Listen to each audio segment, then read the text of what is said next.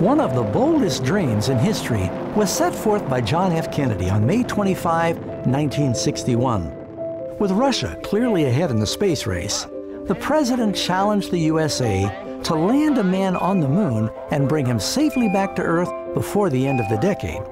He dared, now it is time for this nation to take a clearly leading role in space achievement. On July 20, 1969, it happened.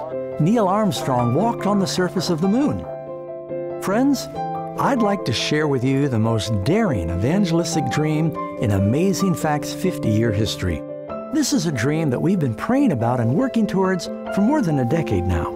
And our goal, together with your prayerful support, will involve winning a different kind of space race. My prayer is that you'll join arms with us in the single most important step of faith that Amazing Facts has ever undertaken. It's a bold, 96,000 square foot global evangelism vision. Let me explain.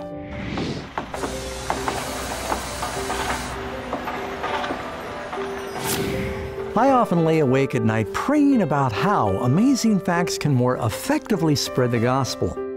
I'm so thankful for the thousands that we're reaching for the Lord.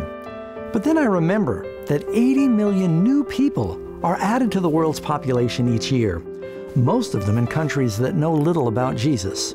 In fact, in the time it takes you to hear this message, 2,500 babies will be born. And yet, in that same time period, only 10 souls will be baptized into the remnant church.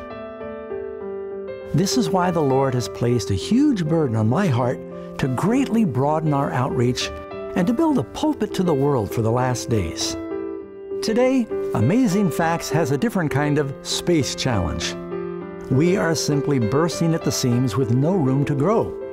The limitations of our aging facilities are restricting our ability to do evangelism, while God is still calling us to go into all the world. For example, offices designed for one person now seat three or four or more. Our burgeoning warehouse requires us to dot the property with rented storage containers in order to hold the overflow of materials that we're shipping to people who are searching.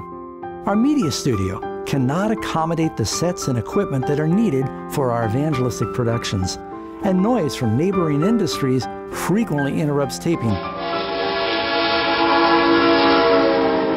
The church auditorium, where we record the weekly services, is squeezed into a converted one story office park by a train track.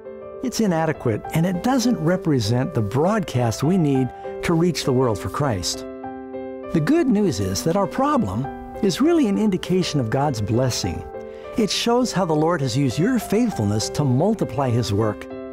Yet we are now at the crossroads of tremendous need and opportunity to expand the reach so that more souls will hear the everlasting gospel.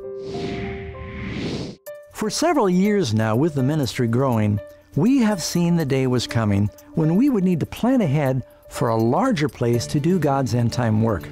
Ten years ago, with help of supporters like you, Amazing Facts purchased 75 beautiful acres on a hilltop overlooking Sacramento. Praise God, the land is all paid for, and permits necessary to build are now approved. With your support, we are embarking on our biggest, most daring vision of faith to build an international evangelism, media, and training facility. We're calling it the Word Center. WORD stands for World Outreach Revival and Discipleship. This new launch pad will be adequately sized and equipped to expand our global ministries and to transform many more lives for Christ. The Word Center will consist of two functional buildings that will bring the fragmented operations of Amazing Facts into one efficient location. The first building will be a new home facility for the office and administration operations. The second building is a 1,400 seat training and worship center where we can broadcast and record the Amazing Facts programs at the highest level of quality to people around the world. It'll also serve as a center of missionary training for thousands of men and women who will be traveling to foreign lands and home churches armed with evangelistic passion and Bible truth.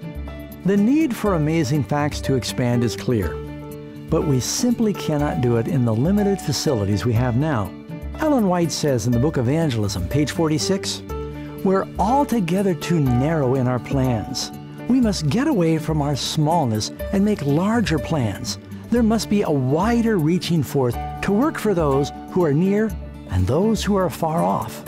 God has already inspired others to step forward in faith. Through current commitments from supporters and the sale of our existing property, we will have more than 60% of the funds needed to complete the project. But we're still going to need you and other ministry partners to step forward and to meet the $10.1 million necessary to complete construction. I know that's a big number, but just as God has brought us this far, I believe He's going to take us all the way. This is no time to pull back now. Christ's commission calls us to courageously reach higher. I had found amazing facts online and was watching hours of sermons each day, spending more time with Pastor Doug Batchelor and really getting a lot of the answers to the questions that I was seeking out. I was so excited about what I was learning that I was trying to convert my hardened criminal friends with the oracles of prophecy. My life has been changed by Jesus Christ and amazing facts. I remember listening on my radio to Pastor Doug Batchelor, and it was there that my relationship with Christ began. My life has changed because of this ministry, and I thank you from the bottom of my heart. Friends, there are hundreds of stories I could tell you of how Amazing Facts is touching lives and transforming people for eternity. Let me tell you something that happened to me about two weeks ago. I was in Florida at a National Religious Broadcasters Convention. One of the guest speakers there is the pastor of the largest church in the world, Dr. Satish Kumar. He has a church in Andhra Pradesh that has 160,000 members. In fact, he's very famous now because he's built a church for 18,000 people in 52 days. Well, when I saw him at the seminar, he came up to me and he said, Can I have a picture with you? He said, I watch Amazing Facts programs all the time. It is such a blessing. And then later, the next day, he was making a presentation to a room full of evangelical Christians.